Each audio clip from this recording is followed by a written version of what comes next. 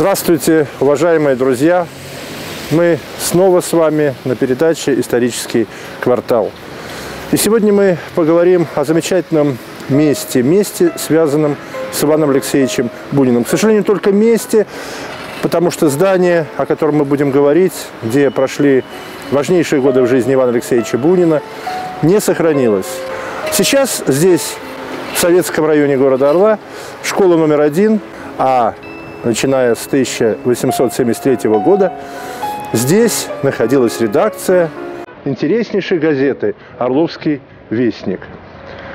Первоначально учредителями этой общедоступной частной газеты, что тоже удивительно, проявление такой творческой инициативы, были Андрей Тарачков и филолог Чудинов. Затем газету купила Семенова и Шелихов.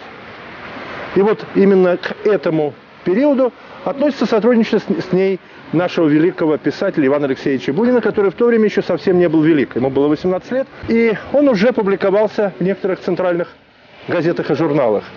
Семенова увидела его творческий порыв, тогда еще он был никому неизвестен, и пригласила его, Ивана Алексеевичу Бунину, в 1889 году предлагается быть помощником редактора этого издания. Издание выходило тогда два раза в неделю.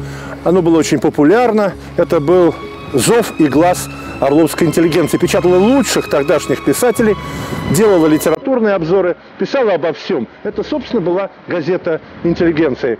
И вот Иван Алексеевич советуется с братом Юлием, которого он очень чтил, уважал, он тоже был редактором. Он едет для этого в Харьков, и после этого соглашается. Живет здесь, в редакции газеты, посещает также читальню, о которой мы уже рассказывали, этой газеты. Когда газета выписывала все возможные журналы, Бунин погружается не только в литературное творчество, но и в исследование литературы вообще. Надо сказать, что ему приходилось писать на самые разные темы.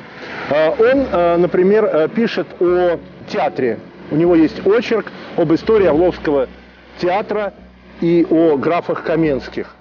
А, он э, становится э, критиком литературным, литературную страничку издает.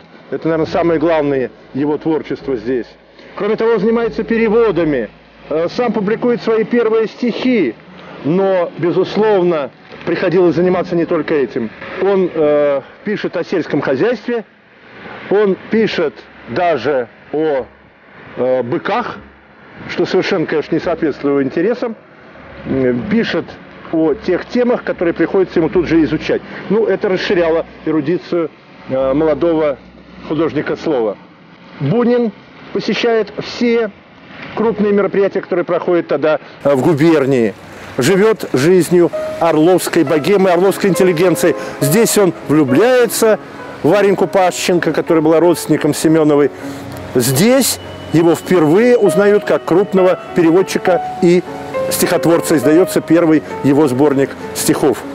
Но на самом деле это ярчайшая страница в жизни Бунина, после которой он всегда говорил, что через много лет, когда он думает о России, он в первую очередь видит Орел. И, конечно, это место. Сам Орловский вестник просуществовал еще некоторое время. Э, его затем перекупает Ареста, потом это становится товариществом. Затем в 18 году эту газету национализируют, она становится э, газетой пролетариата, меняет несколько раз свое название, пока не вливается в будущую газету «Орловская правда». Надо сказать, что уже затем, в современные годы, несколько десятилетий, два десятилетия назад, эта газета была возобновлена. И портрет Бунина изображен на ее первой странице. Это место также претерпело большие изменения – дом, где существовала редакция Орловского вестника, наибольшей степени связанный с жизнью Бунина на Орловщине, не сохранился. Он исчез в войнах и лихолетиях. Но хотя ничего не сохранилось на месте редакции Орловского вестника, тем не менее память примерно в этом месте о Бунине все же есть, материальная память. Это бюст Ивану Алексеевичу Бунину, который был открыт 17 октября 1992 года.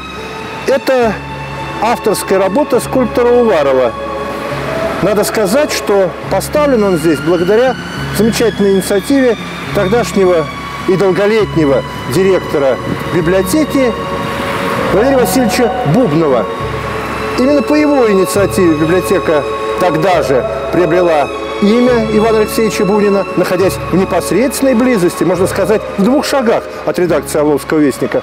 Именно по его инициативе был поставлен этот бюст, открытый при стечении орловской интеллигенции.